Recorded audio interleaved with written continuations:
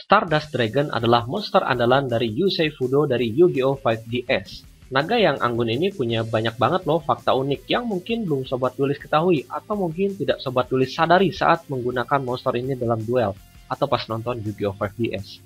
Dan inilah 10 fakta unik tentang Stardust Dragon. Pertama, Stardust Dragon merupakan monster yang diposisikan sebagai kebalikan dari Red Dragon Archfiend. Dari segi efek itu betul-betul berkebalikan ya. Red Dragon Archfiend itu menghancurkan, sedangkan Stardust Dragon itu meniget kehancuran. Dari segi artwork pun diperlihatkan seperti sedang berhadapan, apalagi kalau disandingkan seperti ini.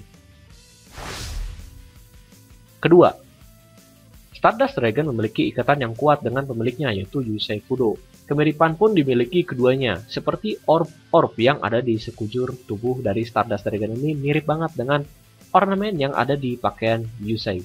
Efek dari Stardust adalah mengorbankan dirinya untuk meniget kehancuran kartu lainnya. Ini merupakan perwujudan dari sifat Yusei yang sanggup mengorbankan dirinya untuk orang-orang di sekitar. Ketiga, Stardust Dragon memiliki keunikan dibanding monster andalan milik karakter utama lainnya. Stardust Dragon merupakan satu-satunya monster yang beratribut Wind, Berbeda dengan es monster lainnya ya, seperti Dark Magician dan Odd Ice Pendulum Dragon yang beratribut Dark, dan juga Elemental Hero Neos, Utopia, dan Firewall Dragon yang beratribut Light. Di antara monster berlevel, Stardust Dragon adalah satu-satunya yang berlevel 8. Dark Magician, Neos, dan Odd Ice itu berlevel 7.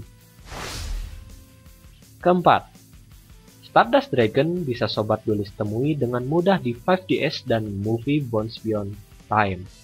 Tapi sebenarnya Stardust Dragon juga muncul di Arc 5, tepatnya sebelum lagu opening saat Synchro Dimension Arc.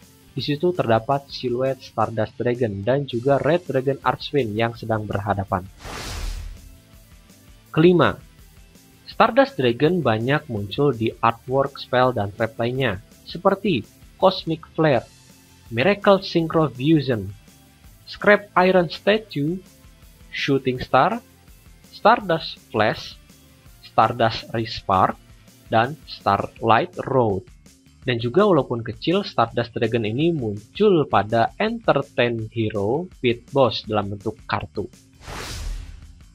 Keenam, Stardust Dragon paling banyak memiliki form dibandingkan dengan Shiner Dragon lainnya. Stardust Dragon memiliki form Majestic yaitu Majestic Star Dragon, form fusion yaitu Dragon Knight Draco Equiste, Assault Mode form yaitu Stardust Dragon Assault Mode, Axel Synchro form yaitu Shooting Star Dragon, dan Limit Over Axel Synchro form yaitu Shooting Quasar Dragon.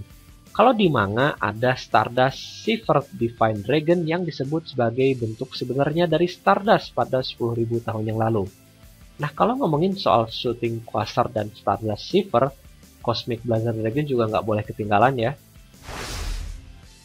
Ketujuh, Cosmic Blazer Dragon itu sebenarnya nggak pernah disebutkan ya secara spesifik di anime ataupun manga. Nah tapi sebenarnya Cosmic Blazer Dragon ini merupakan Delta Axel Synchro Form dari Stardust Dragon. Tepatnya pada timeline asli 5DS pada saat Zone itu belum kembali ke masa lalu. Hal ini diperlihatkan pada data Yusei Fudo yang ada di episode 149. Ketika data Yusei muncul pada komputer milik Zone, terlihat sebuah data yang bertuliskan Cosmic Blazer Dragon dalam kurung Delta Axel Synchro. Nah ini dalam bahasa Jepang ya. Nah walaupun juga monster ini tuh nggak pernah sama sekali diperlihatkan bentuk aslinya. Dan akhirnya monster ini tuh nggak pernah muncul sama sekali. Karena Zone itu kembali ke masa lalu dan sebagai gantinya Yusei berhasil memanggil Shooting Quasar Dragon. Kedelapan, Stardust Dragon juga punya beberapa counterpart. Counterpart manganya adalah Stardust Spark Dragon. Counterpart mudanya adalah Debris Dragon. Counterpart maleficnya adalah Malefic Stardust Dragon.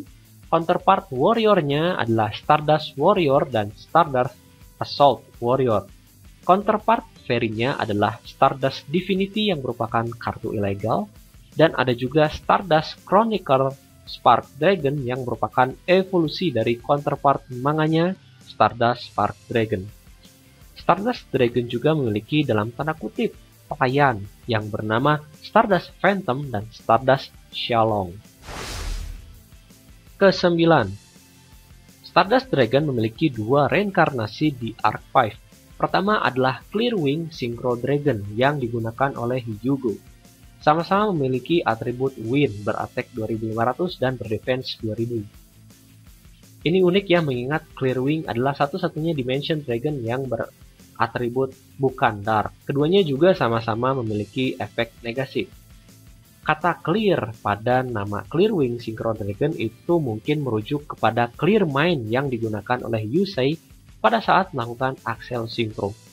Reinkarnasi lainnya adalah Enlightenment Paladin yang digunakan oleh Yuya, memiliki point attack, defense, dan juga level yang sama persis dengan Stardust Dragon. Kedua monster ini juga memiliki versi evolusi yang memiliki attack defense level yang persis sama. Sama-sama 3300, levelnya juga sama-sama 10. 10. Stardust Dragon langsung didesain oleh Kazuki Takahashi.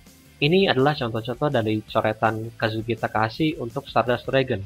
Nah, karena desainnya itu sangat menarik ya, karakter yang serupa muncul pada game Facebook Social Empire dengan nama Star Dragon. Kalau sobat tulis lihat baik-baik dari segi warna maupun bentuknya itu betul-betul sangat mirip. Nah, itulah 10 fakta unik menarik dari naga yang sangat cantik dan kuat ini. Di awal-awal kemunculan Synchro, Stardust Dragon ini adalah salah satu kartu wajib di deck-deck Synchro, karena memiliki efek yang sangat kuat dan tidak membutuhkan material khusus untuk dipanggil. Oke, jangan lupa subscribe ya untuk terus mendapatkan update terbaru dari Yu-Gi-Oh! Duelist Indonesia. Klik suka kalau Sobat Dulis suka ya dengan video-video Yu-Gi-Oh! trivia seperti ini. Kalau belum klik belnya, klik dulu ya biar terus dapat notif terbaru dari Yu-Gi-Oh! Duelist Indonesia. Oke, sampai jumpa di video lainnya dan jalan terus Duelist Indonesia.